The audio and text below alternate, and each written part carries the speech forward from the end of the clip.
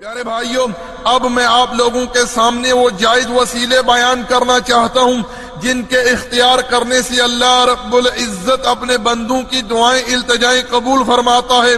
क्योंकि आजकल कुछ पेट के पुजारी मौलवी वसीले की आड़ में लोगों के अकीदे के साथ खेलती हैं, लोगों के सामने गलत गलत मिसालें बयान करते हैं कि छत पर चढ़ना है तो सीढ़ी लगाओ अगर ऑफिसर को मिलना है तो पहले चपड़ासी को मिलो।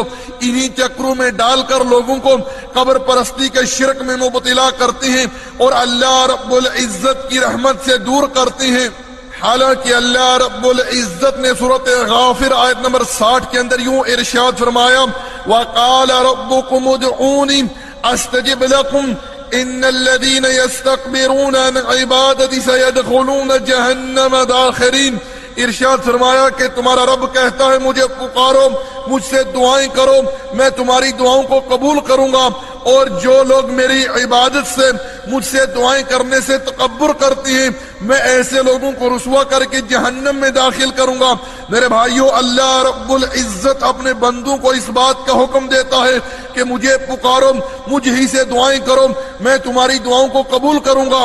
लेकिन ये पेट के पुजारी मौलवी लोगों को ये बावर करवाती हैं कि अल्लाह रब्बुल इज़्ज़त हमारी डायरेक्ट दुआ नहीं सुनता, बल्कि वसीले इख्तियार करने चाहिए। प्यारे भाइयों, मैं आप लोगों के सामने वो जायज़ वसीले बयान करूँगा, जिनके इख्तियार करने के लिए अल्लाह और उसके रसूल सल्लल्लाहु अलैहि वसल्लम ने हमें तालीम दी है। मेरे भाइयों, वो पहली चीज़ क्या है जिसके इख्तियार करने से अल्लाह रब्बुल इज़्ज़त अपने बंदों की दुआएँ इल्तिजाएँ कबूल फरमाता है कि हमें चाहिए कि हम अल्लाह रब्बुल इज़्ज़त को अल्लाह के अच्छे अच्छे नामों के ज़रिए पुकारें इन नामों के ज़रिए अल्लाह से दुआएँ करें, इल्तिजाएँ करें।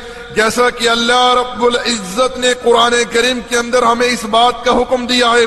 सूरतुल आराफ, आयत नंबर 180 के अंदर इरशाद फरमाया, वलिल्लाहिल अस्माउल हुस्ना, फदऊहु बिहा। कि अल्लाह की अच्छे अच्छे नाम हैं।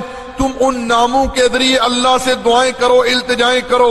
मेरे भाइयों, हमें इस तरह कहना चाहिए जैसा कि अल्लाह के रसूल सल्लल्लाहु अलैहि वसल्लम अपने रब को पुकारते थे अल्लाह या हय्यु या कय्यूम, ऐ अल्लाह हमेशा ज़िंदा रहने वाले, हर चीज़ के थामने वाले, मेरी दुआ को कबूल फरमा।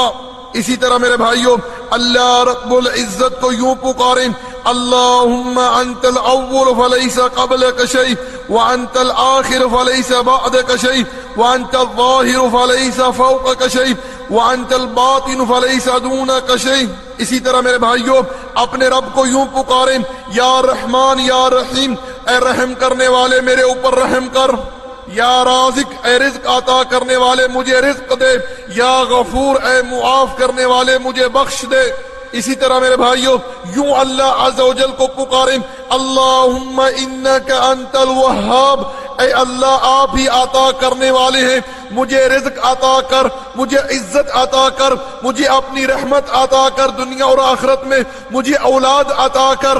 आप यूँ कहें मेरे भाइयों अंतल वदूद। ए अल्लाह, आप मोहब्बत करने वाले हैं, मुझसे मोहब्बत कर।